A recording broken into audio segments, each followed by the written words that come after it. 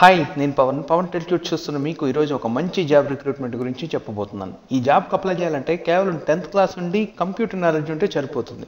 Good news ఏంటంటే selection process అంటే online టెస్టులు ఇంటర్వ్యూ లాంటివి ఏమీ లేవు. జస్ట్ మనకి టెన్త్లో వచ్చిన మార్కులే ఈ జాబ్ని డిసైడ్ చేస్తాయి అనమాట టెన్త్ క్లాస్తో పాటు పద్దెనిమిది నుండి నలభై ఏళ్ళ వరకు వయసు ఉన్నవాళ్ళు ఈ జాబ్కి నిరభ్యంతరంగా అప్లై చేసుకోవచ్చు.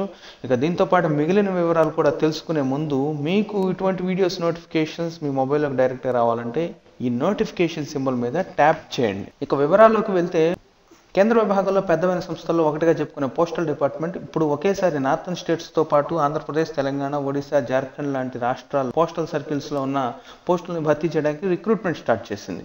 ఆ పేరు వచ్చేసేసి గ్రామీణ డాక్ సేవక్స్ అంటారు. ఆంధ్రప్రదేశ్లో నూట తొంభై పోస్టులు అంటే ఏలూరు డివిజన్లో నాలుగు అనకాపల్లిలో నూట యాభై రెండు రాజమండ్రి డివిజన్లో ఇరవై ఎనిమిది విశాఖపట్నం డివిజన్లో ఆరు పోస్టుల్ని అలాగే తెలంగాణలో ఒక్క ఖమ్మం డివిజన్లోనే నూట ఇరవై ఏడు పోస్టుల్ని ఒడిశా రాష్ట్రంలో గిర్ది ధన్బాద్ హజారీబాగ్ డివిజన్లలో తొంభై మూడు పోస్టుల్ని జార్ఖండ్ కొన్ని డివిజన్లో ఏకంగా పన్నెండు వందల ముప్పై ఆరు పోస్టుల్ని ఒకేసారి ఈ రిక్రూట్మెంట్ ద్వారా ఫిల్ చేయడానికి నోటిఫికేషన్ ఇచ్చింది. పోస్ట్ పేరు గ్రామీణ్ డాక్ సేవకైనా దాంట్లో కేటగిరీస్ ఉన్నాయి. Sub post master branch post master mail carrier mail deliver mail packer mailman. ఇక్కడ ఏంటంటే sub post master four to five hours working hours ఉంటుంది. బ్రాంచ్ పోస్ట్ మాస్టర్కి ఫైవ్ అవర్స్ వర్కింగ్ అవర్స్ అనేది తప్పనిసరిగా ఉంటుంది. ఒక్క మెయిల్ డెలివరీకి మాత్రం నాలుగు నుంచి ఆరు గంటల వరకు టైం ఉంటుంది working hours. Mail carrier mail packer mailman మాత్రం వీళ్ళందరికీ ఒకే విధంగా ఉంటుంది. మూడున్నర నుంచి ఆరు నాలుగు గంటల వరకు వర్కింగ్ అవర్స్ అనేది తప్పనిసరిగా ఉంటుంది. ఒక వర్కింగ్ అవర్స్లో డిఫరెన్సే కాదు శాలరీస్ కూడా ఒక్కో జాబ్కి ఒక్కో రకంగా ఉంటుంది. ఒకసారి నోటిఫికేషన్లో చూసుకోండి. ఉద్యోగ ఖాళీలు ఉద్యోగ రకాలనే మనం తెలుసుకున్నాం. ఇప్పుడు ఎలిజిబిలిటీ క్రైటీరియా అప్లై ప్రాసెస్ ఏంటి అంటే ఎలిజిబిలిటీ క్రైటీరియా చెప్పాను కదా టెన్త్ క్లాస్ పాస్ అయ్యి ఉండాలి. అలాగే కంప్యూటర్ నాలెడ్జ్ అనేది ఉన్నట్లు ప్రూవ్ చేసుకోవాలి. అంటే పెద్ద పెద్ద కోర్సులు ఏం అవసరం లేదు. బేసిక్ కంప్యూటర్స్ ఒక రెండు నెలల పాటు నేర్చుకున్నట్లు ఒక సర్టిఫికెట్ గుర్తింపు పొందిన బోర్డు నుండో లేకపోతే ఇన్స్టిట్యూట్ నుండో తీసుకొని ఉండాలి. జాయిన్ అయ్యే టైంకి ఉంటే సరిపోతుంది. ఇప్పటికిప్పుడు ఏం అవసరం లేదు. అప్లై చేసి చేయడానికి మాత్రం అటువంటి సర్టిఫికెట్లు ఏం అవసరం లేదు. జాయిన్ అయ్యే టైంకి మీరు సబ్మిట్ చేయాల్సి వస్తుంది.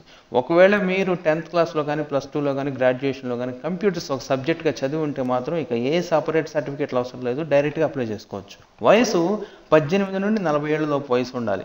జనరల్ క్యాండిడేట్స్కి. ఓబీసీ వాళ్ళకి నలభై మూడు సంవత్సరాల వరకు ఎస్సీ ఎస్టీ నలభై ఐదు సంవత్సరాల వరకు పీహెచ్ వాళ్ళు యాభై సంవత్సరాలు కేటగిరీ ప్రకారం అంతకన్నా ఎక్కువ సంవత్సరాల వరకు అప్లై చేసుకోవచ్చు. ఈ సైట్ ద్వారా అప్లై చేసుకోవాలి. ఈ లింక్ డిస్క్రిప్షన్లో ఇస్తాను. అప్లికేషన్ ఫీ కూడా ఉంది అప్లై చేసుకోవడానికి. Hundred rupees general OBC men వాళ్ళకు ఉంటుంది.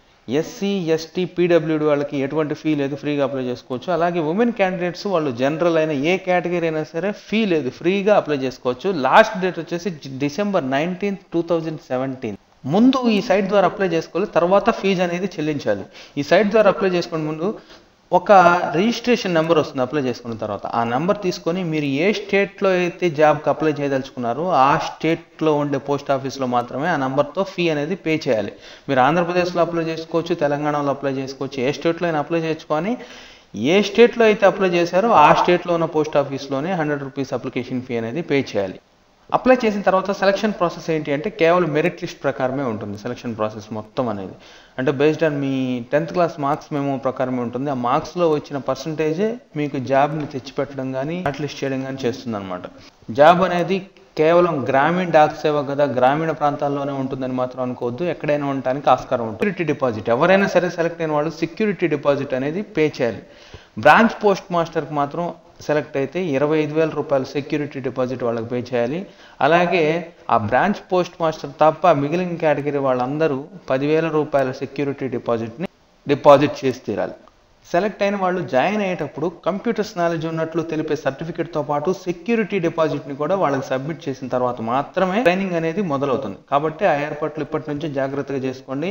అలాగే అప్లై చేసుకునే ముందు ప్రతి ఒక్కరూ నోటిఫికేషన్ చూసుకోండి. ఎందుకంటే కేటగిరీ ప్రకారం వాళ్ళు జాబ్స్ ఇచ్చారు. కేటగిరీ ప్రకారం వాళ్ళ డిజేబిలిటీస్ ప్రకారం జాబ్స్ ఇచ్చారు కాబట్టి అది క్లియర్గా చదువుకున్న తర్వాత మాత్రమే అప్లై చేసుకోండి. దీంతో పాటు మీ డౌట్స్ని డైరెక్ట్గా అడగడానికి ప్రతి స్టేట్కి సంబంధించిన హెల్ప్ డెస్క్ నెంబర్లని ఈమెయిల్ని నేను డిస్క్రిప్షన్లో ఇస్తాను. ఏ స్టేట్లో అప్లై చేశారో ఆ స్టేట్కి సంబంధించిన హెల్ప్ డెస్క్ నెంబర్కి కాల్ అయినా చేయొచ్చు. అలాగే మీ డౌట్స్ అన్నిటిని మెయిల్ ద్వారా అయినా మీరు క్లియర్ చేసుకోవచ్చు. ఓకే? ఇది ఈ వీడియోకి సంబంధించిన కంప్లీట్ ఇన్ఫర్మేషన్. ఈ వీడియో మీకు నచ్చినట్లయితే లైక్ చేయండి షేర్ చేయండి. కొత్త వాళ్ళైతే సబ్స్క్రైబ్ చేసుకోవడం మర్చిపోకండి.